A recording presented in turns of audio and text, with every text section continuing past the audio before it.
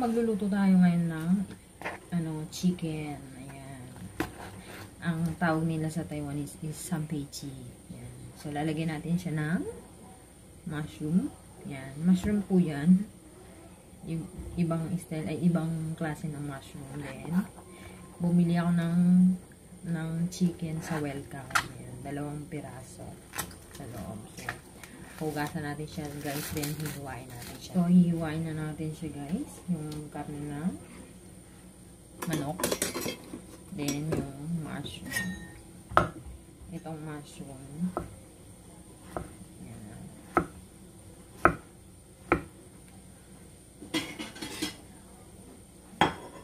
Dapat nga malalaki yung hiwa nito kaso nga lagi kasi sinasabi hindi manguya ni Lolo. So, yan guys. Naiwan na natin. Ayan. Naiwan na natin siya. Lagyan natin sa plato. Ganyan. So, eto na yung ating luya. Tsaka yung spring onion na hiwa ko na. Is, iyan natin siya dito sa sa chicken. Let's get started. Gisa na natin yung ating chicken.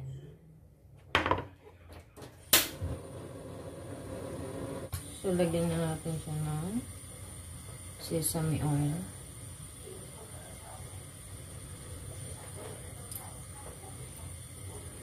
Usok na.